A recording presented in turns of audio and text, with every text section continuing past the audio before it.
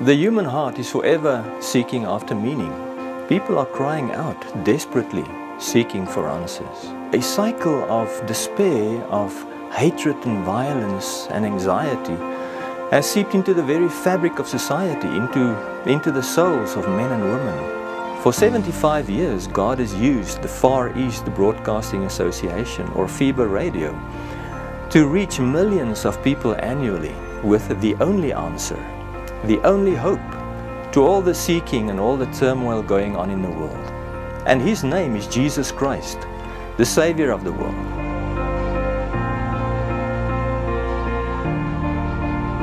From the plains of Zimbabwe, Malawi, Mozambique, to the uncharted uh, Arab world of Saharan Africa, and even further into the dozens of countries in Asia and the Far East, the most unchurched, most persecuted, unreached, and most isolated villages on earth.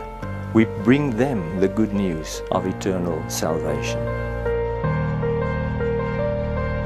And what is the result of all this? Well, every year millions of people respond to our broadcasts from places like China, Pakistan, India, Indonesia, the largest Muslim country in the world, millions are listening and responding uh, Kyrgyzstan, Kazakhstan, Ukraine, Vietnam, North and South Korea, in Malawi, we, the response is so big amongst this unreached people group that our staff cannot even keep up with all requests for, for baptism.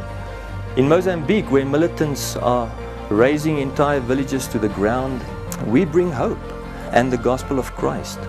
For 75 years, God has used the Far East Broadcasting Association to use local ethnic broadcasters preaching in 140 languages in more than 50 countries for thousands of hours each day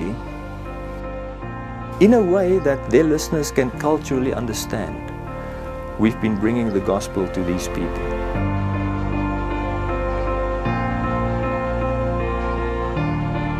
So you may never be able to hand deliver a radio to a, a, a, remote village in an unreached country.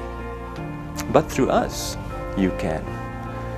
If one radio can change a whole village, just think what your donation and your partnership can do.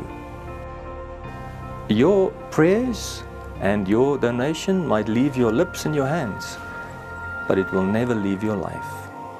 Partner with us because together we can reach the unreached.